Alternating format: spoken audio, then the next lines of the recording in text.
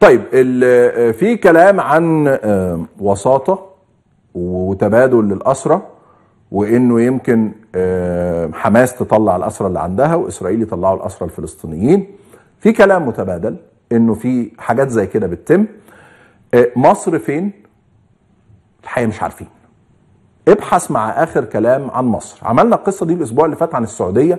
في الفترة دي بنحاول ندور على مصر في وسط كل الأحداث اللي حاصلة. تعالوا نشوف الخبر ده اللي بيتكلم عن تصريحات الناطق باسم كتائب القسام الذراع العسكري لحركة حماس نقلا عن وكالة الأناضول. إسرائيل تماطل في ملف تبادل الاسرى أبو عبيدة المتحدث باسم كتائب القسام الجناح العسكري لحماس قال آه، إن إسرائيل بتماطل في ملف تبادل الأسرة واتكلم في كلمة مصورة تبعتها وكالة الأناضول إنه بدل الوسطاء القطريون ونحط حول الوسطاء القطريون هنا 18 ألف خط.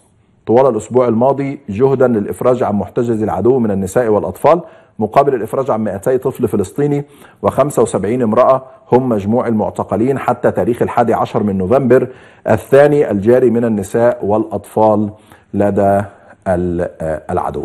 النقطة دي مهمة قوي يا جماعة. مهمة قوي إن إحنا نتكلم على فكرة المحتجزين من النساء والأطفال. على فكرة استهداف النساء والأطفال.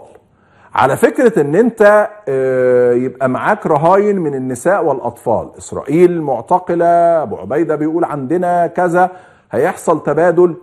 هو بأمانة كده الأصل إنه ما بقاش فيه محتجزين من النساء والأطفال أصلا. الأصل في الدين الإسلامي في الدين المسيحي في الدين اليهودي في كل الأديان في كل الأعراف في كل القوانين في كل الدنيا في كل البشرية أنه لا استهداف لا للمدنيين ولا للنساء ولا للأطفال. وبالتالي ما ينفعش توصل لمرحلة إنه في اسرى من النساء والأطفال. وبالتالي ده أمر مدان في كل حتة وفي كل منطق. ولذلك الوساطة القطرية هنا والمفترض يكون في وساطة مصرية كمان ووساطة من كل الدنيا. هو شيء مهم جدا عشان نخلص من هذا الاشتباك إنه في أسرى من النساء والأطفال ومحتجزين هنا وهناك واستهداف هنا وهناك. فده موقف لازم يكون واضح جدا. أنا بوضحه هنا أهو. وهنا كمان الكلام امبارح كان عن القصة دي.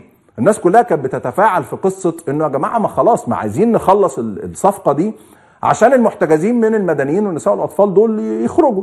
خلاص كل واحد يرجع بيته وتنتهي القصة دي. بعد كلام آه، أبو عبيدة الناطق باسم القسام وبعد الكلام عن الوساطة القطرية آه، تقريبا آه، الخارجية المصرية بدأت تنشر بعض البيانات.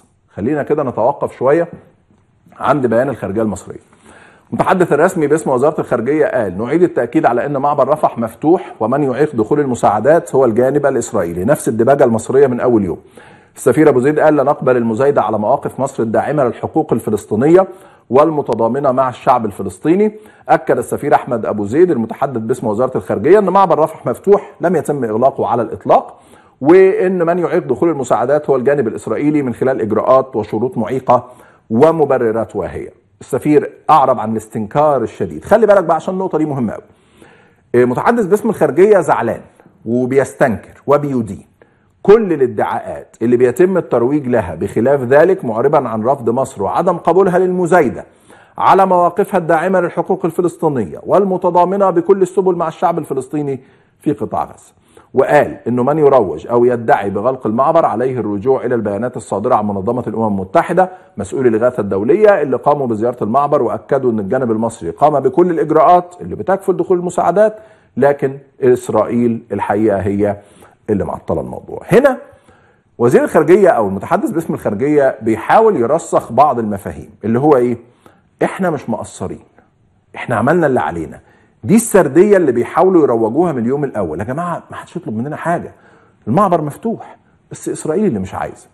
يا ابني ما هو أنت عندك سيادة على المعبر، حبيبي ما هو اتفاقية فيلادلفيا حصلت في 2005 واتفاقية المعابر بعدها فأنت جاي تقول لي النهارده ما حدش يزايد عليا أصل أنا ما أقدرش طب ما هو مبارك قدر بعد اتفاقية فيلادلفيا وبعد اتفاقية المعابر فتح المعبر في 2008 بمزاجه بقراره بسيادته هو. ما محمد مرسي قدر في 2012 فتح المعبر بمزاجه وبقراره وبسيادته هو. انت مش قادر تفتح المعبر ليه؟ هتقول لي وبعدين يا أسامة ما البيان واضح أهو المعبر مفتوح يا أخي المعبر مش مفتوح.